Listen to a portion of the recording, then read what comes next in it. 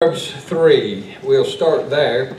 Uh, this is not going to be the Song of Solomon series on the couples tonight.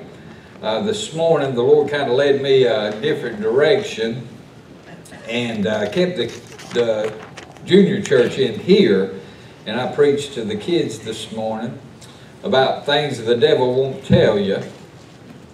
And in that, I made a statement about the decisions that y'all are making today will affect you tomorrow. How important it is, uh, the decisions you make today, whether I drink or not, whether I smoke or not, whether I run with this crowd or not, who's my friends, who am I going to allow in my circles, those decisions that you make today will affect you in the years to come.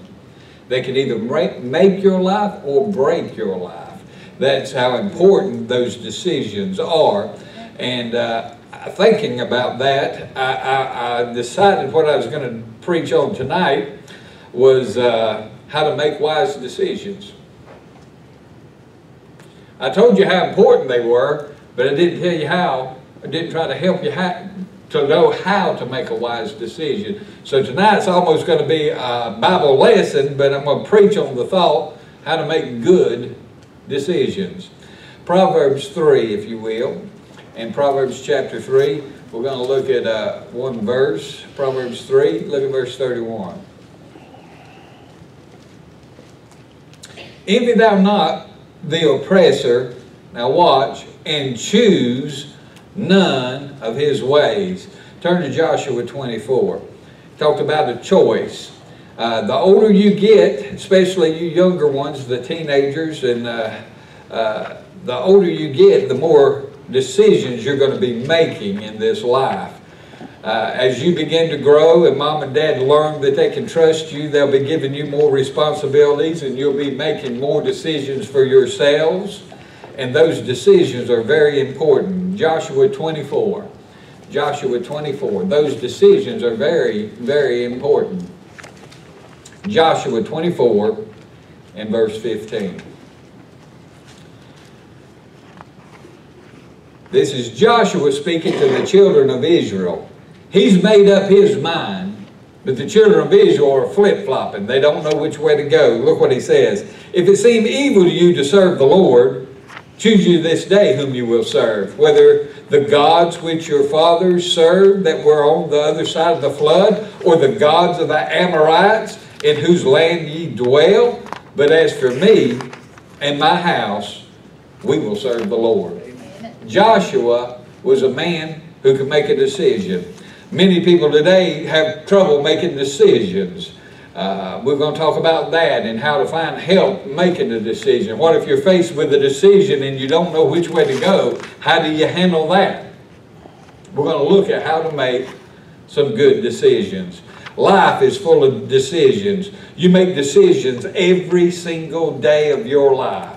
When the alarm clock goes off, do I hit snooze and roll over or do I get up? That's the first decision. Then, next decision, what am I going to wear? What am I going to eat? Am I going to eat breakfast? Am I going to work? Am I going to school? Whatever you do, it's decision after decision after decision. You think you're not making any decisions, but you are. You decide whether to face the day happy or angry. You're you decide what kind of attitude you're going to have that day. Well, they got up on the wrong side of the bed. You can't blame the bed. It's a bed. It don't do anything. You laid on it all night. Not the other way around. Amen. Uh, so stop and think about some things. You make decisions all the time. Successful lives are based on good decisions. And many times when you find someone on the street homeless, has, has wrecked their life, wrecked their marriage, wrecked their health, it comes down to they made some poor decisions. Poor decisions. They decided they were smart enough they didn't need school anymore. They decided they were smart enough they didn't have to listen to mom and dad anymore. They decided that they were old enough to decide whether to drink or not. They were, they were big enough whether or not to do this drug or that drug. They made that decision and those bad decisions led them down a bad path. As Christians, you should want what God wants for your life. What does God want from you? God made you. He made you for a purpose. Do you know what that purpose is? I'll tell you, making good decisions will not come without God, seeking God's counsel. And God's counsel isn't mysterious, but it has to be earned. He's not just going to get a neon sign so when you wake up in the morning, it's flashing to you what He wants you to do. His will for your life is going to be found in His Word. And if you don't spend any time in His Word, don't expect to find His will for your life. Because that's where it's at. What does God want from you? Well, He wants you to get saved if you're not saved. Then He wants you to read your Bible. He wants you to pray. He wants you to attend church faithfully. He wants you to partake of the Lord's Supper, and be baptized. He wants you to tithe. He wants you to come out from among them and be separate. He wants you to live clean and holy. He wants you to soul win. There's so many things He wants from you, but He's got blessings for you if you'll do those things. He will give you His will for your life. He will show you and guide you as you do what you're supposed to do for Him. So some things you don't have to decide. Uh, in my house, when the kids were growing up Sunday morning, it wasn't, are we going to church today? No, it's Sunday morning. They got up and started getting ready. They knew we were going to church. Why? The decision was already made. It was made years ago. Amen. And they had learned that was the decision of the house. We were going to serve the Lord. Come Sunday morning, we was going to church unless it's bleeding. And then we get some duct tape, tape it up, and go anyway. Amen. uh, we went to church. Mistakes made by most Christians today is they want to live their life for themselves and still want God's blessings on everything they do. You don't want to do what God wants you to do, but you expect Him to do what He can do for you. That's what's wrong with most Christianity today. It's like working for a boss man. You're no good to the boss if you do what you want, when you want, the way you want. When I punched in at work, now here's some good stuff. This will help some of you younger ones. When you get a job, if, if unless you've got the title boss man, you ain't the boss. Amen. When you punch in, you belong to them for that eight hour, ten hour shift, whatever that, whatever it is determined that you're to work. When you punch in, it ain't time to go sit down and text. It ain't time to get on the phone. It ain't time to search the internet and keep up with Facebook and all that stuff. No, you're supposed to be working, doing what you were hired to do the way the boss said to do it. Amen. You say, well, my boss is an idiot. I know a better way. Evidently not. He's the boss and you're not. He learned to do it the way his boss said, and eventually he got promoted, and then he could do it the way he wanted to. If you do like you're supposed to do, when you're supposed to do it, the way you're told to do it, then one day you'll get to decide how to do it. Amen? Then you'll get to be the boss.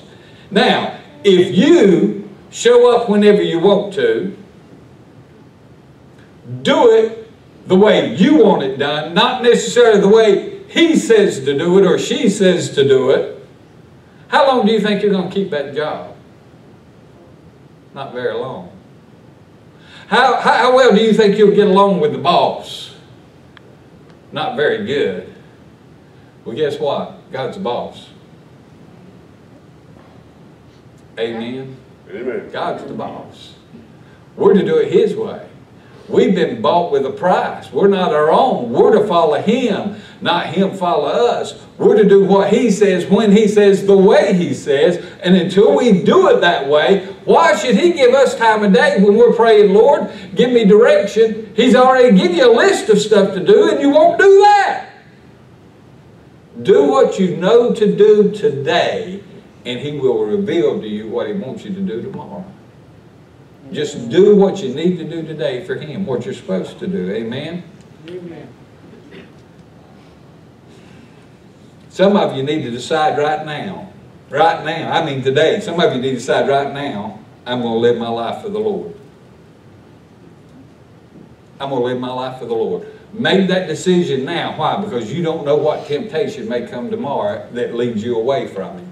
You don't know what you may be faced with next week or next month that would lead you in the wrong direction.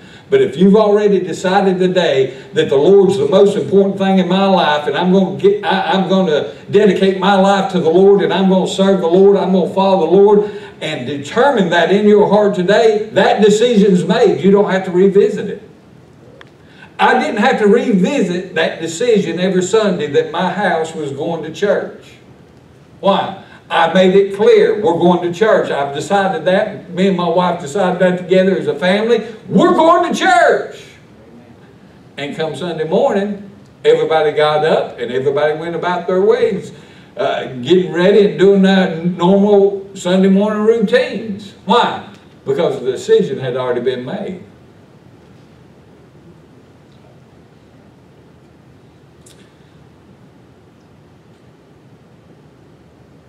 I'm going to skip some of this for time's sake because I've got a lot to say, but I, I, will get into this. I'm going to give you 10 things. No fancy outline, just 10 things as quick as I can give them to you, give you a couple verses. We might look at a couple of them, and, and, and then we'll, we'll close and go to the house. Amen. First of all, in making a wise decision, in no particular order, here's some things you ought to ask yourself. Jot them down if they speak to your heart so you'll remember them. But the first thing you ought to ask yourself is, will this decision please God? If you're faced with a decision and you want to know whether it's the right one or not, does this decision I'm making, will it please God? Will it lead me to pleasing God? Will it please God? You want an illustration? Maybe some young girls debating on whether to see some boy. Will seeing that boy please God? We're seeing that girl please God. We're doing that please God. Will it bring honor? Will it bring you closer to God? Will it please God? Will it please Him? Say, how will I know if it pleases Him? Spend some time in this book. That's how you're going to know God's will for your life. That book's more important than you ever thought it was. The older I get, the more I see fulfilled in this, the more I see that this thing's been right, years and years and years, decades, centuries ahead of its time, everything in that book has proven true. And he's wanting to talk to you. And you keep running from that book. You'll read magazines, you'll read junk books, you'll read everything you can get your hands on, but you won't pick that one up. Why? Why? Why won't you pick this one up? Amen? That decision you're, you're faced with, can you give God credit for it? Will it make you a better Christian? Will it bring you closer to God? Will it give you a good witness? Will it hurt your testimony? Is it what an ambassador of Christ should be doing? If it don't glorify God, then why do it? Then why do it? Much like I said, if they're not marrying material, they're not dating material. Amen. If it don't glorify God, why waste your time with it? Amen. Number two, would you ask Jesus to do it with you? Would you ask Jesus to do it? Whatever decision you're making, if it's to take this job, would you say, Jesus, would you would you work with me? Would you would you be willing to walk with me every day in this place? Would you be willing to walk with me on every date? Would you be willing to go wherever I go, whatever I've chose here? Would you be willing to go with me? Be with me. Here's something that'll help you kids. Don't do anything that you don't do anything away from mom and dad that you wouldn't do in front of them. Did you get that? Don't do anything with your friends that you weren't willing to do in front of your parents. That's drinking, smoking, cussing, pornography, filth of this world. Don't do anything that you wouldn't be willing to sit down and do in front of your parents? Maybe your parents aren't good parents, and maybe they let you do some of that stuff. Don't do anything you're not willing to do in God's presence. Because He's all present. He's all seeing. I'm trying to help you make good decisions. Good decisions today will give you a better tomorrow. It'll help you walk closer to the Lord. It'll help you get the Lord's blessings on your life. Amen.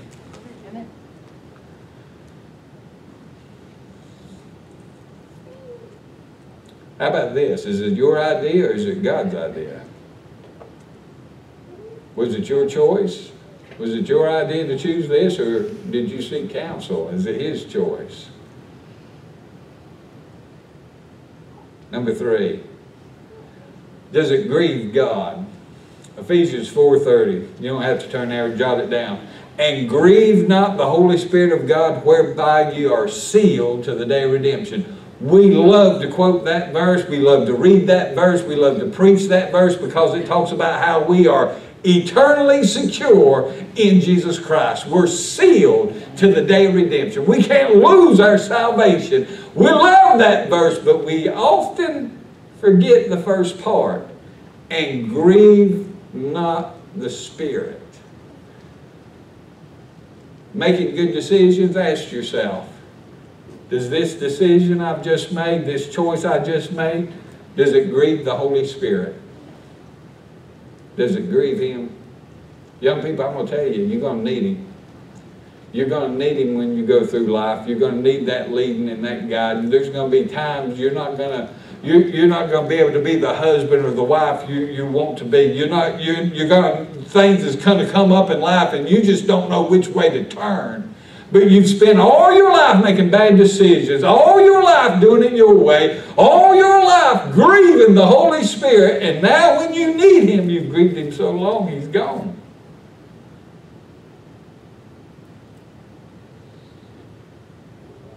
I know doctrinally He's always there.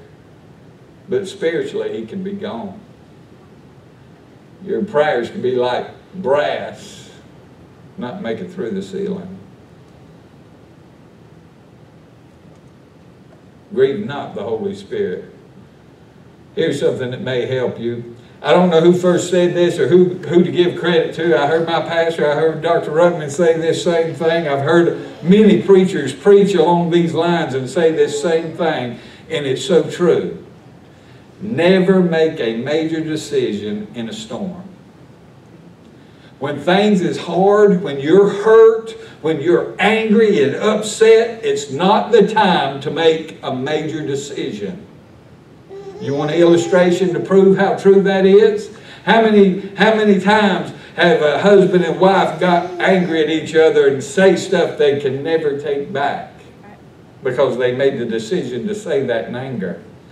I know of a, a, situation where a man said, that's it, I, I, I don't want to hear no more of it, I'm tired of you nagging, I'm tired of this, I'm tired of that, I'm leaving, I'm gone, I want a divorce, and he storms out of the house and gets in the car, spins down the driveway, hears the tires squawk as they hit the pavement, he's gone. He cools off in about a half an hour and he thinks, man, that was a little harsh. And he comes back and finds his stuff sitting outside. She wouldn't take it back. You said you wanted a divorce, you got it. How many times has somebody at work got mad at the boss man and pitched a fit and walked out of work and said, that's it, I quit. Then go home and get to thinking, what about my kids? What about the bills? What about, what am I going to do for a living? I can't get a job that pays as much as this one. I can't get a job that'll work with me like this is work with my schedule or something, whatever's going on. And they think, oh no, I made a mistake. They show up work the next day and the boss says, what are you doing? You quit. Get your stuff and go. I'll call the police if you don't get out of here. You quit. Decisions made in a storm are often not very wise. You will let your emotions, your anger, your hurt, your pain decide for you rather than your brain. Amen? Never make a decision in a storm. Number four, how will this decision affect others around me? Believe it or not, you've got a brother or sister that's looking up to you. You've got a niece or a nephew. You've got a friend at work. You've got a friend at school. Someone's looking up to you, whether you realize it or not. You may be on the bus and you're in an older class than some other kid and they're looking at you and you're the coolest thing. You're dork, just as dorky as dork can be. But to that kid, you're the coolest thing they've ever seen. They want to be just like you. And the decisions you make today may influence them. It may be a little brother, a little sister coming up behind you. And the decisions you make will affect them. Well, I, it's only going to hurt me. Nobody lives to themselves. Decisions you make can hurt others. You, when you're married, any decision you make affects the whole family. Guess what, kids? Any decision you make now affects mom and dad. Mom and dad love you whether they tell you or not. They love you and care for you, amen. And they don't want to see you hurt and making bad decisions, and those decisions do affect those around you. Here's one. 1 John 2.15, we're told not to love the world, neither the things in the world. So ask yourself this question. Would it be considered worldly? What I'm deciding to do, would it be considered worldly? Is this a worldly decision? Worldly. You say, what do you mean worldly? Is it what everybody else is doing? I'll tell you, I'll tell you right now, if this world is embracing it, you better step back and look twice at it. Because if this world loves it, something's wrong with it. Because this world is right the opposite of this book. This world is going right the opposite of this book. We're to follow Christ, and this world is not following Christ. This world set on fire of hell, to be honest with you, and that's the course it's running. And when it embraces something, and all the world embraces something, and there's a new fad, it seems like everybody jumps on board without even thinking about it. If the world loves it, and the world's behind it, and the world's making a big deal out of it, transgenderism, homosexuality. When they start making a big deal out of something, that should be the first clue something's wrong with it. It doesn't matter if all the world embraces it. What does the Bible say about it? What does God say about it? Is it worldly? Is it worldly? Listen, I say this to the king's kids and stuff in the junior church many times when they're going out. I, like I say, sometimes I do more preaching during the announcements than some preachers do during the preaching hour. Amen. I, I'll say something to them like, "You're king's kids." You know why we call them king's kids? Because we want them to know they're a child of the king. Amen. And as a child of the king, they set the standard, not follow the standard. Amen. As a child of the king, we set the fad. We should be the ones they're following. Not the other way around. Amen. Not following the world standards and falling for what the world does. Amen. We should be following the King of Kings. We're a child of the King. We set the standards. Number six. I'm hurrying. Number six. 1 Thessalonians 5.22 says to abstain from all appearance of evil. So the next logical question to ask yourself does it appear evil? Not is it evil? Well, there's nothing. It's not a sin. It's not wicked. Does it appear that way? The very appearance of it. They laughed at me and gave me a hard time sometimes at work when I was working at the dealership because I didn't want to ride in a car with a woman. Many times as a mechanic, we'd have to get in the car and go on a ride so they can show us what the car's doing. I would always say, well, what speed was it doing that? Well, it was around 45 miles an hour. When I was turning left, it did it. I'll show you. Well, you just tell me. I'll take it out and I, I, I want to be able to feel it. I, I always tried to make an excuse. And I would go out and try to find it myself. And they would laugh at me because they knew what I was doing. Because if a guy did it, I'd say, oh, show me. And I'd hop in and let him show me what it was doing. I'll never forget the greatest one of all was a medical doctor. He come in, he come in, pulled into the garage, he got out, he was in a hurry, he was supposed to be at the hospital. He, he, he, he had his suit jacket on and he said, I've got a noise in my car and I'm afraid to drive it. Can somebody ride with me? So they called me and asked me to go ride with him. I said, when's it doing And He says, I, I don't know. What, well, what speed? Do you know what gear you're in? Is it a right turn or left or anything? I, I don't know. It just does it just whenever. I said, okay. So I get in the car and we'll go down the road. I'm listening. This car's quiet. I mean, he's got a Lincoln Continental air ride suspension. This thing is floating. It is so quiet. Nothing. He rides me all over town. Nothing. He says, well, I guess I'll take you back. And he took, took me back, got out, went in, told the boss man nothing. I said, that just cooled me off, you know, right around the air conditioning. That's all I got. And I go back to work, and he pulls right back in. It did it again. It did it again. So I drop what I'm doing, get back in the car, and I'm going down the road. And we got about halfway through town this time, and I hear a noise. And I looked at it. That's inside. And I looked in the back seat. He had another suit jacket laying in the back seat. It had his pager in it. The hospital had been paging him, trying to get him to come in, and he's riding around. What's that noise? Amen.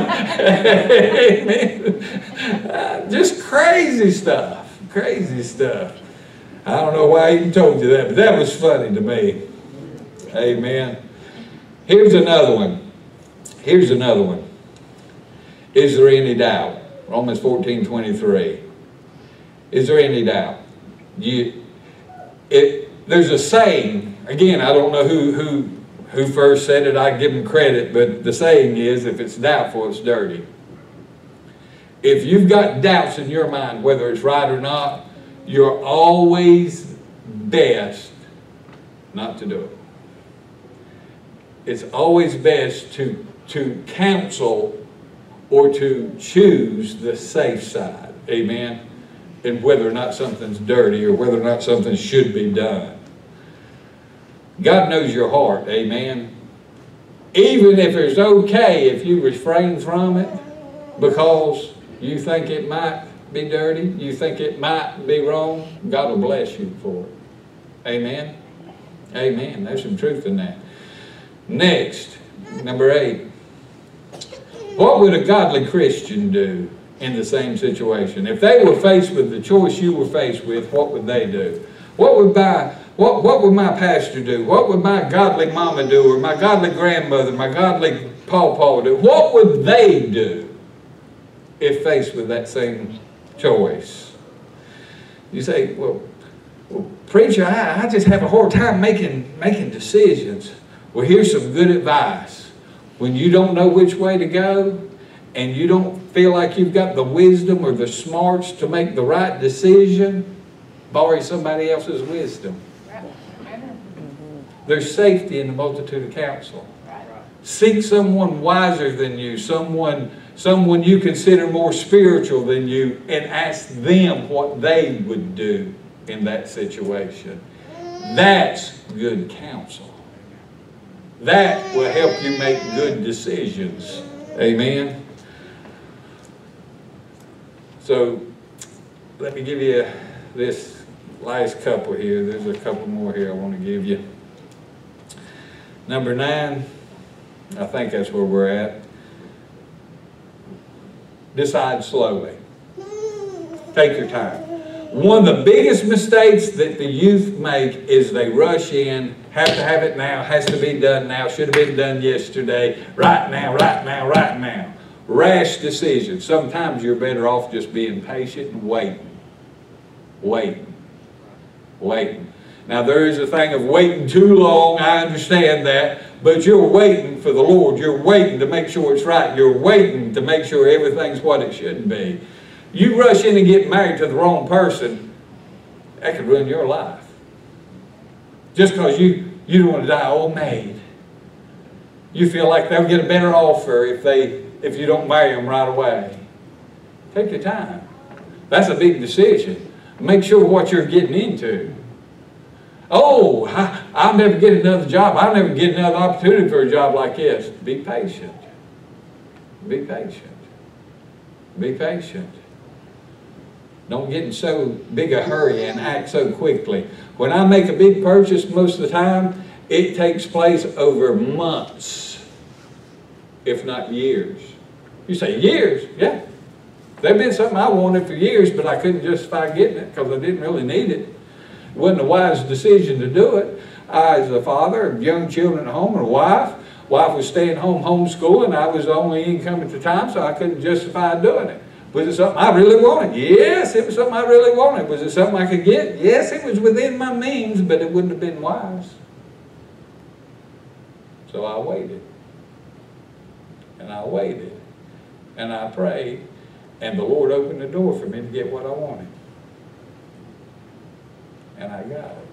And it was a blessing. Amen. There's nothing wrong with that. That's being patient. Had I jumped in and, and went dead, I probably would have paid more for one. Probably wouldn't have had God's blessings on it. Probably would have given me trouble. Probably could have got me in trouble. Probably got me killed, to be honest with you. But anything like that. So be patient. And here's the final one. And I hate to even say this one. But never make a decision when your decision maker is clouded. Never make a decision when you're high, when you're drunk, when you're hurting from a breakup or, or, or fired from a job. When you're clouded, your mind's clouded, don't make a decision. Don't make a decision. Many have ruined their marriages, lost their jobs, quit church in times where they were clouded. Bad decisions lead to poor results.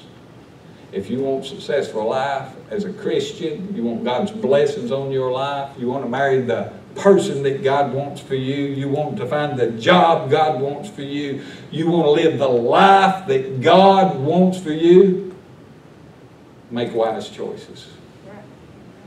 And make them today and every day. Make wise choices. Kids, I wish somebody would have set me down when I was younger and told me this, because I made some dumb ones. I've made some dumb, not as dumb as my wife. she married me. Hey, how much dumber can you get than that? Amen. But but but she's did she amen me, brother? You heard something. I'm gonna throw something at her. But anyway, but you know what I'm saying. Make wise choices. Make wise choices. Life can be great with God's blessings, or it can be hell on earth. And the choices you make today, especially you younger ones, teenagers just getting ready to graduate, just getting ready to find your the love of your life, be careful and make wise choices. Make wise choices. Father, I want to thank you for your word. And I want